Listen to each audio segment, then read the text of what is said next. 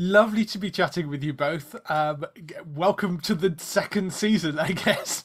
Um, how uh, has it been coming back to the show for you two?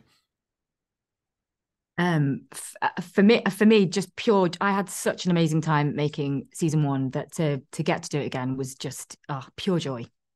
And it's so it's it's it's so um so nice to think that there's an appetite for more, basically, you know, because like you spend six months uh, ferreting away in a studio in Wales, thinking that what you're doing might be all right, but like not knowing if it makes sense, if it's interesting, if it's funny, whatever. So like for for it to have been received so positively, um, to the extent that we got recommissioned, thumbs up.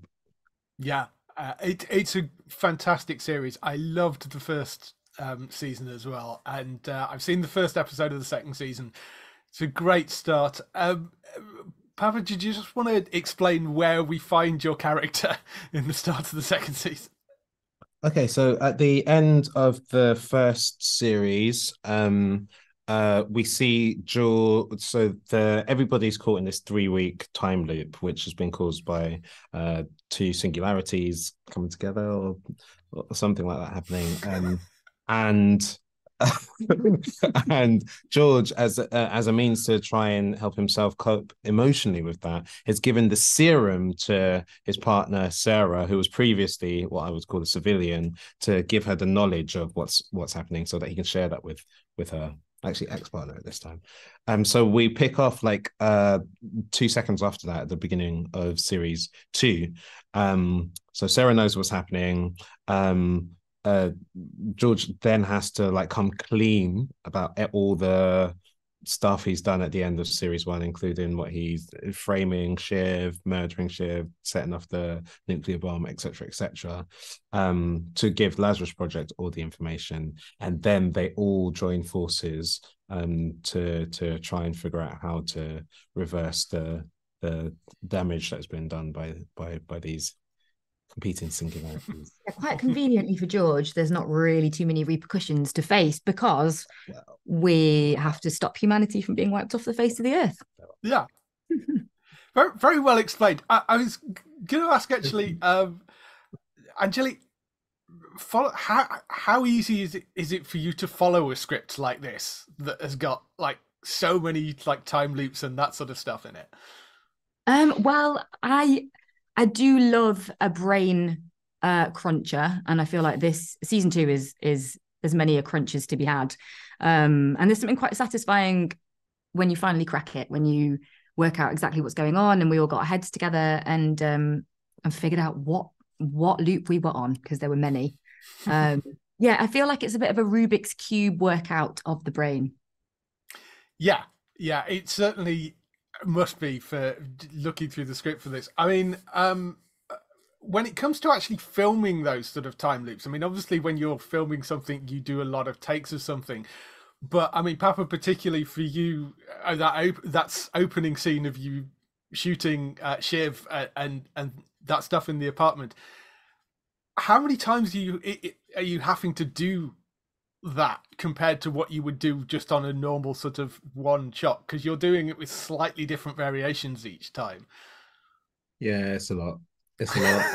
It's a lot. Um and interestingly i think those were some of the first scenes that we shot in in the series we started off in George, george's apartment so poor um, Rudi Dharmalingam, who has to play Shiv, had to spend days covered in blood and days like being splattered with brains and days um, groaning about being shot again and again. So like it, it was hard for me. It was probably harder for him.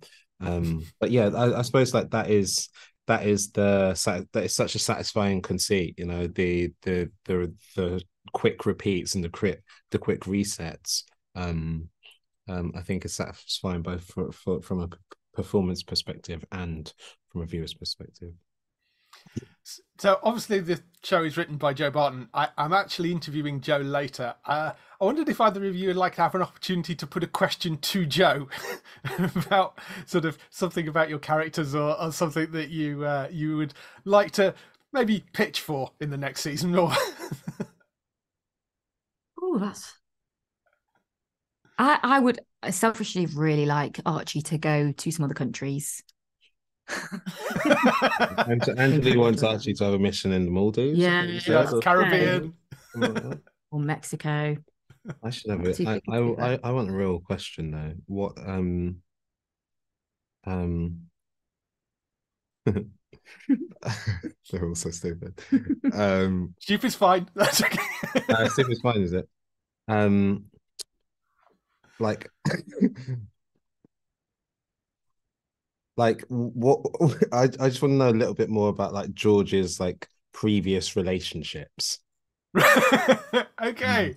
relationships whether uh Like who ended it? no just like how what like has he has he had a lot of them um was he did he behave in the similar way as he has it with with with, with sarah i'm just, I, I just want to know what the backstory of his uh relationship to sarah, sarah is Right. I, I will try and pitch that to him and see what he says. Please, please, please. i've got Awesome. an idea awesome. Well, uh, I think that's my time, so I shall let you get back to it. But thank you for spending a little bit of time chatting to me. I'm really looking forward to the new season. Thank, thank you. you Thank you.